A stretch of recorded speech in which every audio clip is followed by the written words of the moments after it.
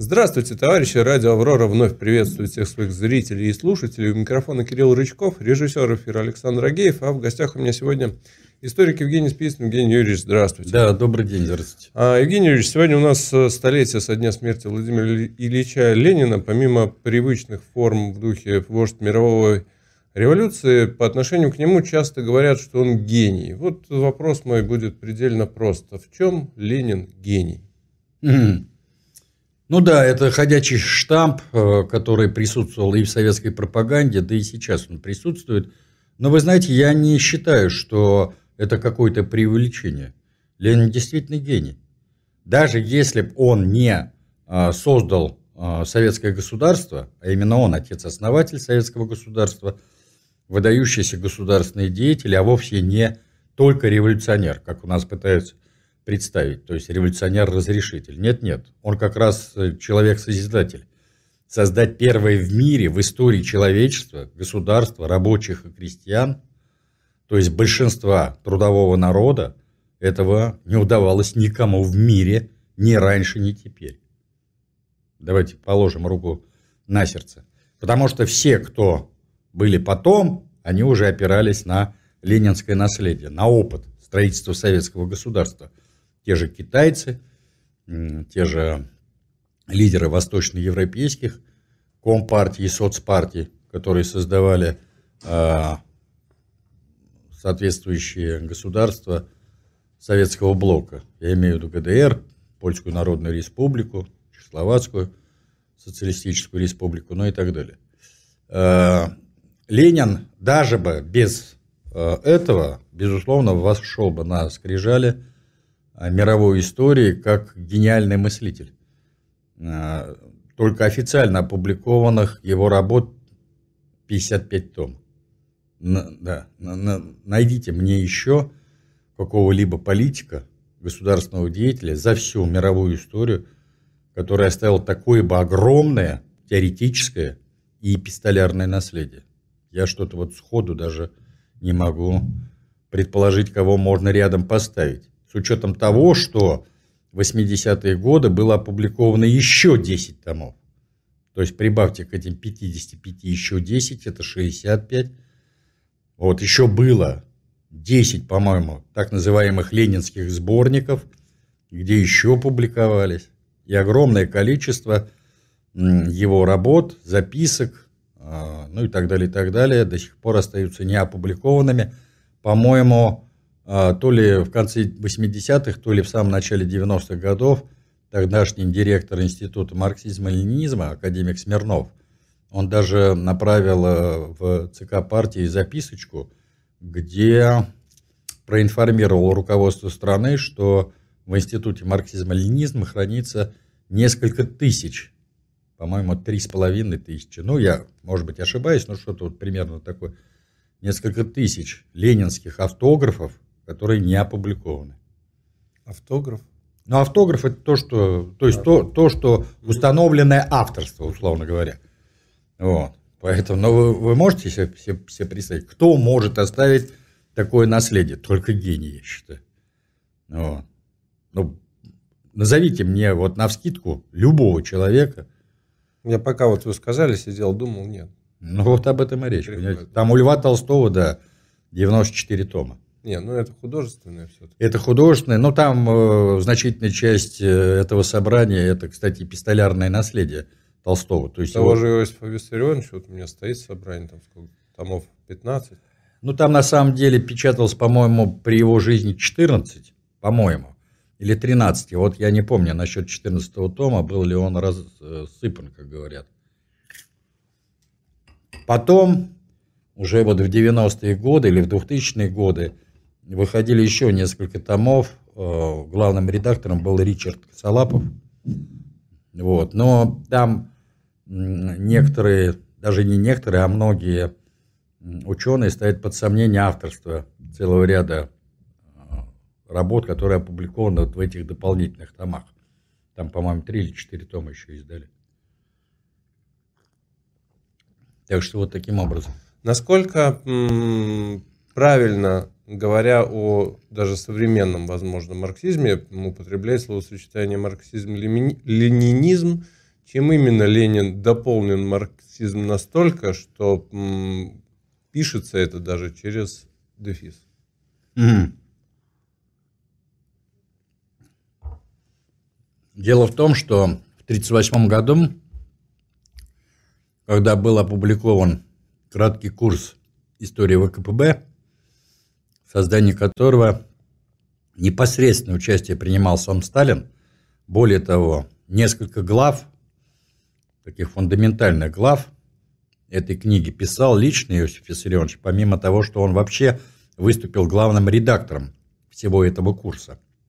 То есть он его вычитывал, делал правки, замечания и так далее, и так далее. Так вот, после выхода этого курса вышло отдельное специальное постановление ЦК о том, а, что это за курс, как его следует изучать, ну и так далее, и так далее. Оно очень подробное. И вообще надо сказать, что все постановления ЦК и правительства, которые выходили в годы советской власти, они были настолько подробными, развернутыми, что просто диву даешься. Там сразу воочию видно, что эти бумаги писали профессионалы высочайшего класса. А не так, знаете, усилить, углубить, расширить, повысить и т.д. и т.п. Там прям ставились конкретные задачи по, всем э, позициям, которые отражало то или иное постановление. Там содержалось колоссальное количество цифр, там назначались ответственные, ну и так далее, и так далее. Так вот, в этом постановлении было особо подчеркнуто, что ни в коем случае нельзя писать марксизм-ленинизм через запятую или с союзом «и», а что надо писать именно через дефис. То есть ленинизм не отделялся от марксизма. Более того, ленинизм рассматривался как творческое развитие марксизма. И это особо подчеркивалось. То есть такие попытки уже были.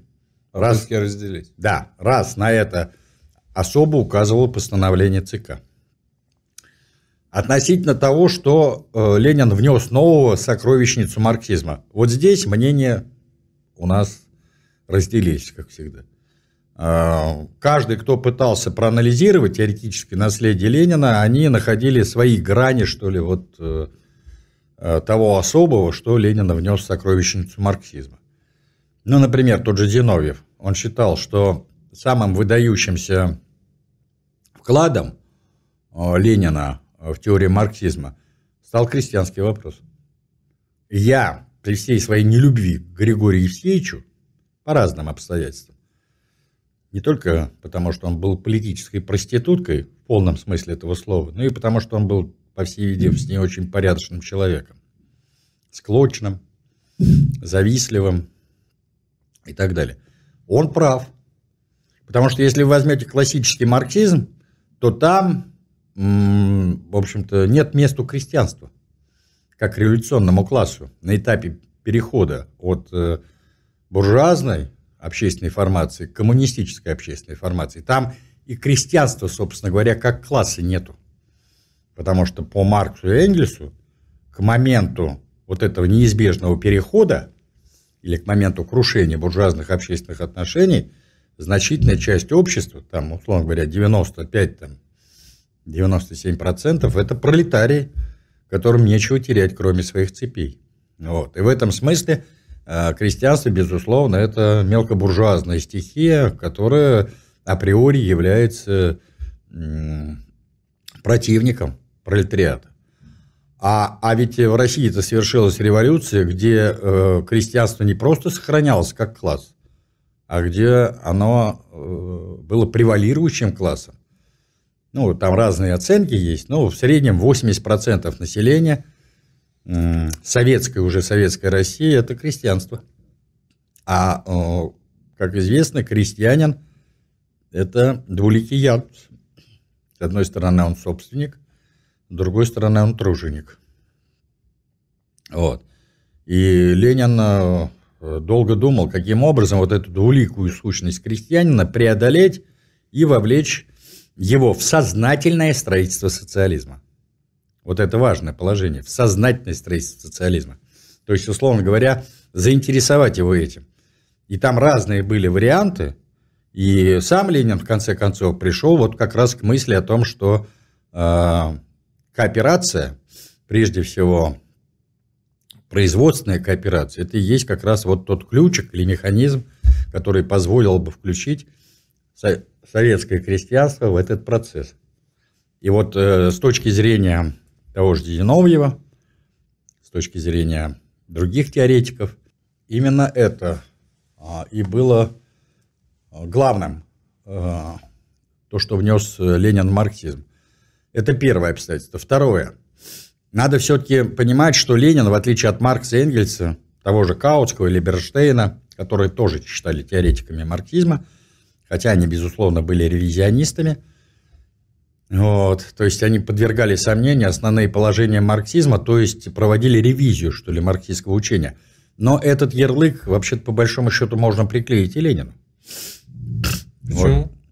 Ну, например, то, что касается... А, просто потому что подвергал сомнению? Потому что, да, да, потому что он какие-то положения марксизма опроверг, условно говоря. Причем опроверг не сугубо теоретически, а опроверг, опираясь на, на то, что существовало в реальной жизни.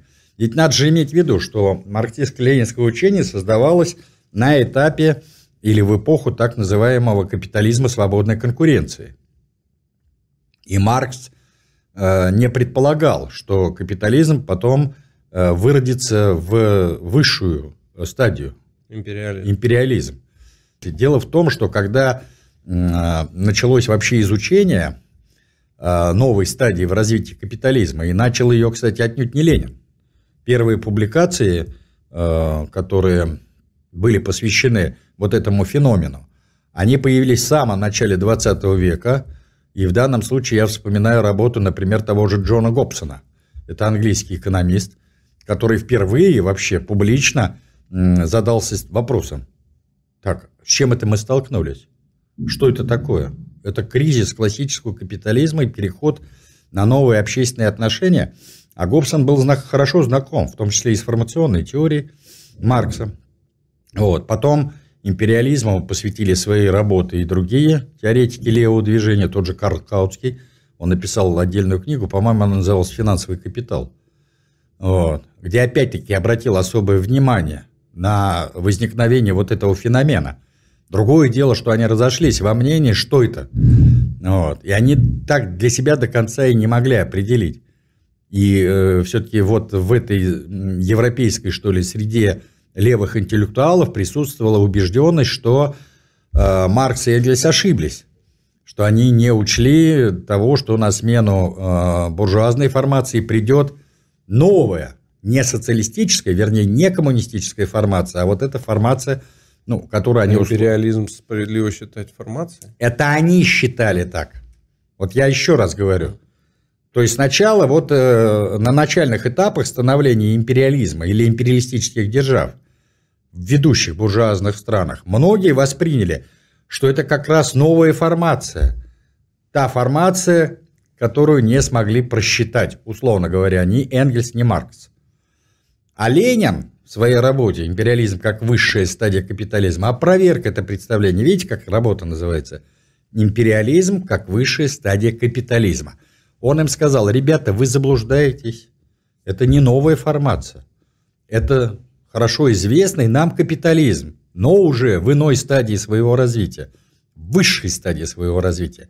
И вот эта высшая стадия развития капитализма, она одновременно по законам диалектики является последней загнивающей стадией капитализма каноном социалистической революции. Вот главный посыл Ленина, который был отражен в этой работе. И вот в этом смысле он теоретически вооружил партию на как раз, по сути дела, подготовку пролетарской революции. В этой же работе он сформулировал и учение о слабом звене в цепи империалистических держав. Потому что до этого существовала классическая установка марксизма, что пролетарская революция произойдет в одной а скорее всего в нескольких наиболее развитых буржуазных странах, где уровень пролетаризации населения достигнет своего максимума, когда на одном полюсе будет в прямом смысле кучка буржуазии, то есть владельцев средств производства, заводов, газет, пароходов и т.д., а э, на другом полюсе общества будет вот эта огромная значит, пролетаризированная масса, которой нечего терять, кроме своих цепей. А Ленин им говорит, что мир ведущих буржуазных стран вступил в новую эпоху, в эпоху империализма, то есть монополистического капитализма, где финансовый капитал начинает играть куда большую роль, чем прежде. И вот в этих условиях а, значит, возникают новые а, вызовы, а, которые в рамках традиционного марксистского подхода уже не играют. Почему? А потому что возникает неравномерность развития ведущих империалистических держав, и в рамках этих держав появляется слабое звено, где наряду, казалось бы, с самыми высокими формами буржуазных отношений, ну, э, например, по степени монополизации производства и по степени монополизации э, значит, э, рабочих на этих производствах, Россия шагала впереди всех передовых стран. Она занимала первое место. Но при этом в российской экономике присутствовало огромное количество пережитков. Вот. И Ленин не случайно говорил о том, что э, в экономике России причудливым образом соединены несколько укладов. Причем, э, ну, несколько это каких? Это мелкотоварное производство, частно-капиталистическое, государственно-капиталистическое и патриархальное. При этом он говорил, что Империализм в России носит военно-феодальный характер. Империализм носит военно-феодальный характер. И ведущим укладом в империалистической России, в империалистической не путать в имперской, это разные понятия, является мелкотоварный уклад. Как это так? Так она империалистическая держава или она все-таки мелкотоварная держава? А он и показывает, что мелкотоварный уклад является определяющим, поскольку 80% населения страны – это крестьяне. А крестьяне и есть носители этого мелкотоварного уклада. Понимаете, как все переплетено? И ввиду этого обстоятельства, с одной стороны, колоссальное наличие мелкотоварного производства и носителей этого мелкотоварного производства в лице российского крестьянства, а с другой стороны, э, значит, колоссальные темпы монополизации производства – и по этим показателям Россия стоит на первом месте. Среди всех ведущих империалистических держав. С другой стороны, по отношению к восточным державам, к тому же Китаю, к той же Османской империи, к Персии, Афганистану и так далее, Россия выступает как колонизатор и как империалист, а по отношению к западным державам Россия выступает как сырьевая колония и место приложения их финансового и промышленного капитала. Понимаете, вот она диалектика жизни. И это Ленин все улавливал.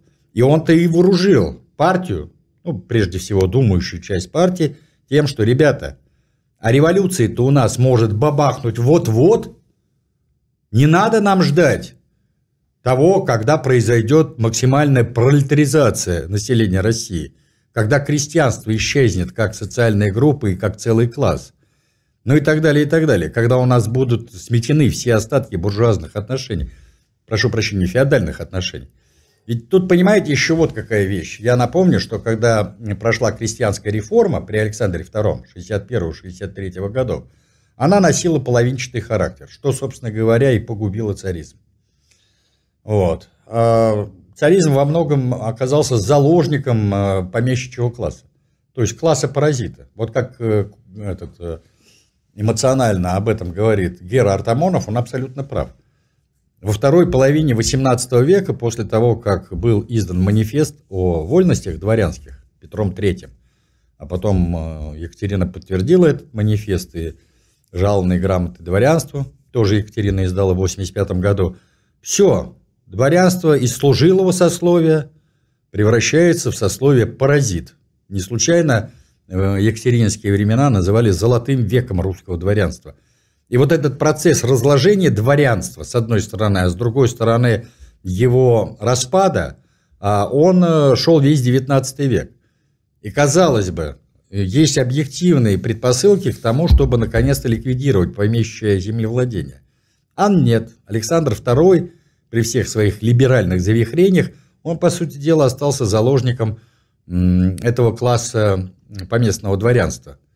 зачастую уже даже безземельного. Вот. А, и у нас сохранилось помещичье землевладение. При этом я замечу, что ведь э, под видом а, выкупа земли был установлен выкуп э, феодальных повинностей со стороны крестьянства. Крестьяне-то остались, э, значит, временно обязанными по отношению формально к своим помещикам, а по факту к государству. И вот это временное, временно обязанное положение крестьян, установленное в 1963 году, оно сохранялось вплоть до революции 1905 года. Ведь там что произошло-то? Смотрите, под видом выкупа э, значит, э, земли был установлен, по сути дела, выкуп обязанностей.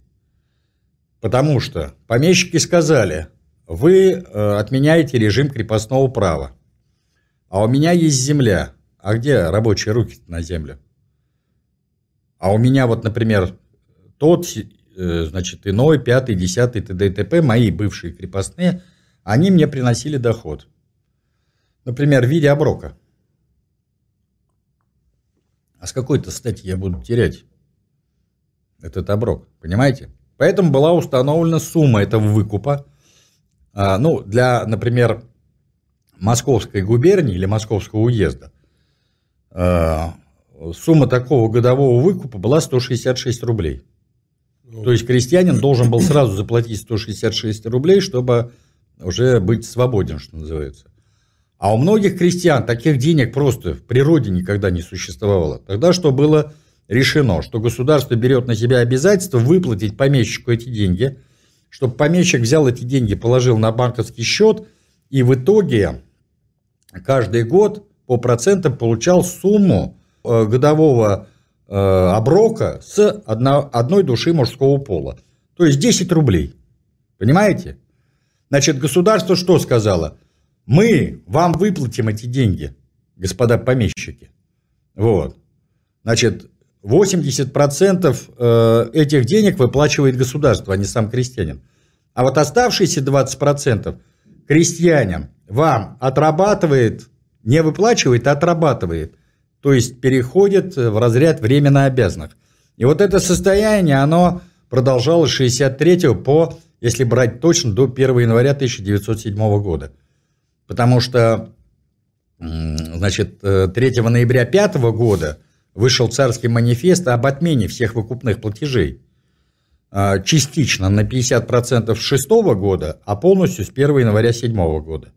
Вот. Но за этот период времени, то есть берите там 37 лет, плюс, значит, тут 6, да? А, больше 40. Больше 40 лет. Были выплачены колоссальные деньги. Там историки спорят, но это речь шла о сотнях, миллиардах рублей. За свою же землю, на которой ты всегда работал, работали твои предки, работали твои потомки, ты должен был платить деньги. То есть это был грабеж феноменальный.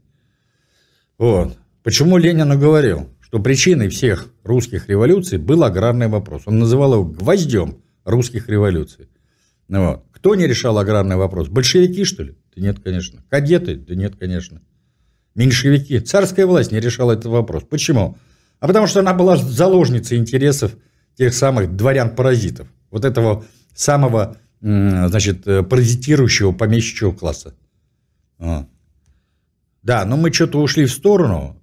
А, а о чем мы говорили, я уже запомнил. Вернее, я помню, о чем мы говорили, я просто мостик вот этот не уловил. То есть вот, э, да, и Ленин как раз вот во многом и объяснил причины, почему э, именно Россия является слабым звеном. А именно поэтому, именно вот потому, что существует этот нерешенный аграрно-крестьянский вопрос.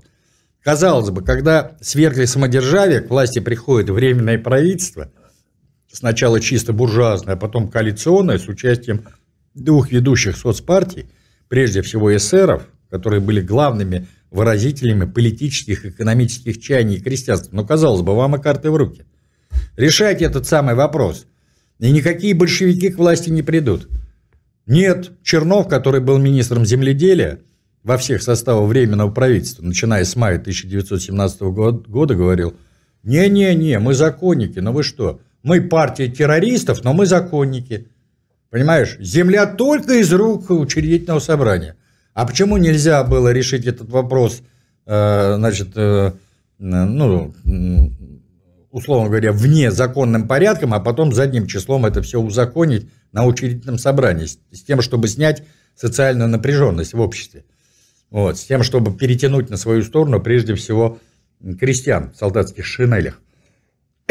Костяк русской императорской армии кто составлял? Именно крестьяне составляли.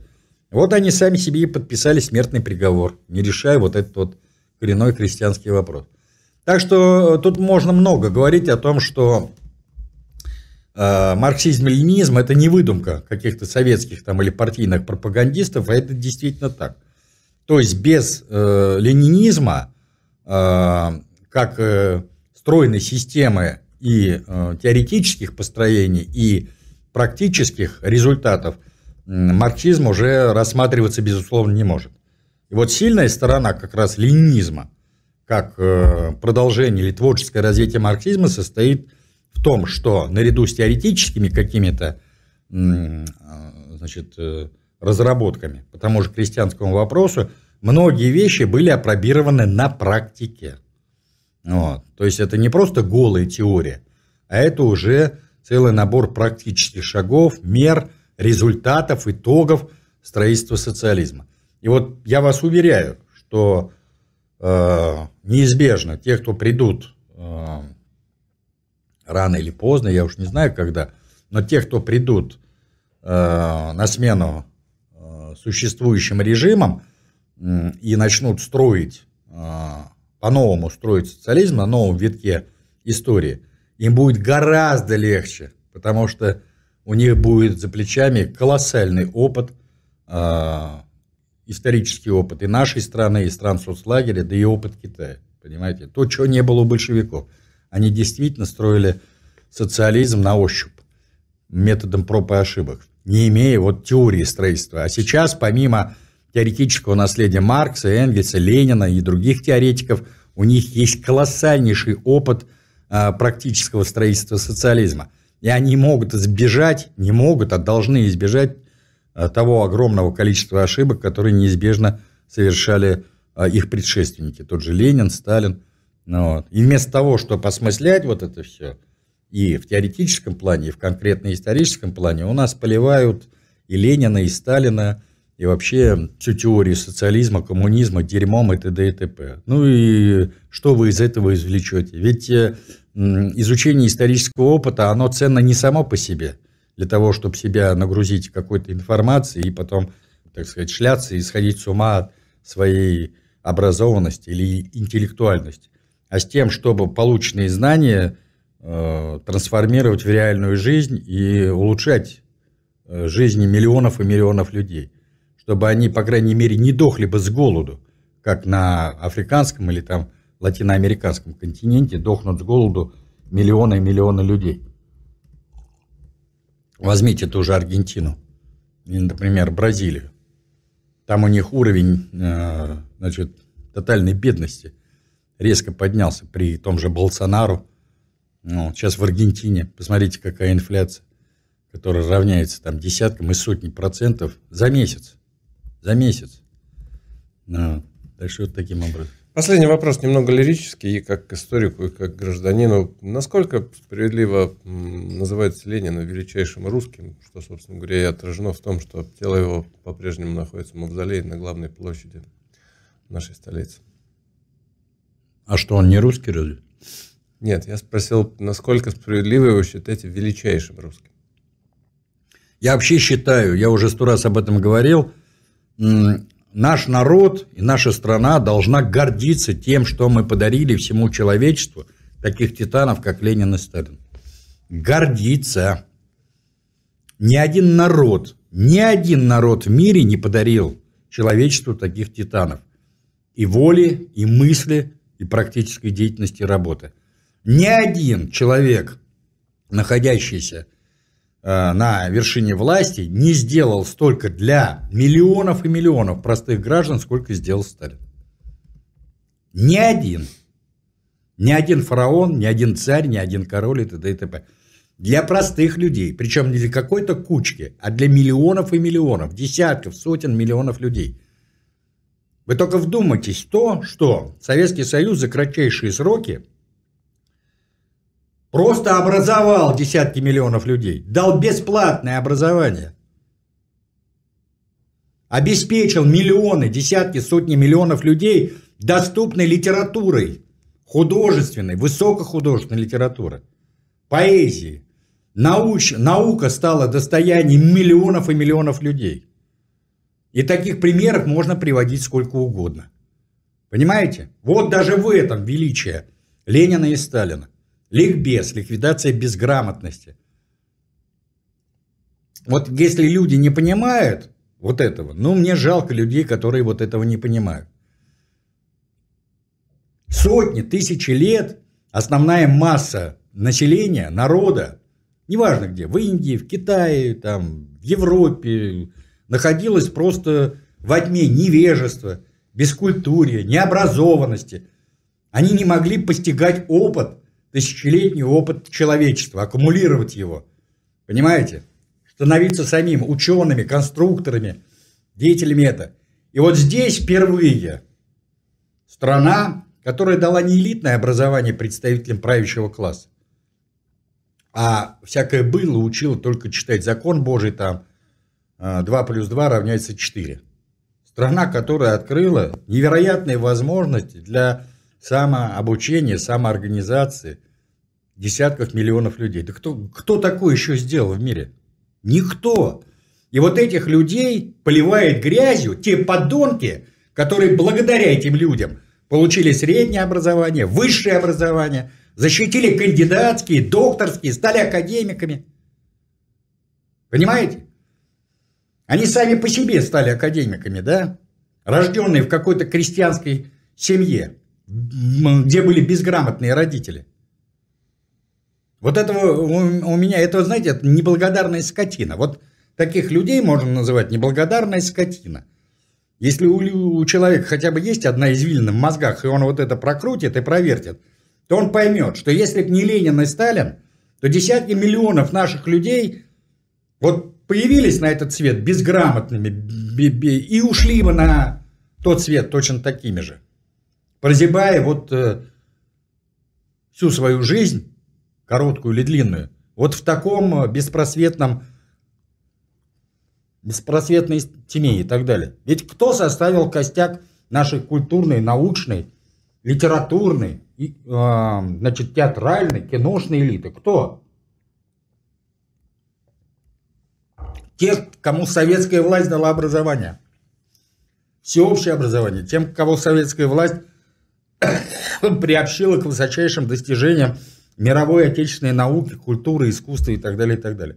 И вот таких людей поливают дерьмом. Это вообще вот шизофрения. Это было мнение историка Евгения Спицына, которого мы, как всегда, благодарим за свет просвещения. Не сдаемся, держимся вместе, классовая борьба.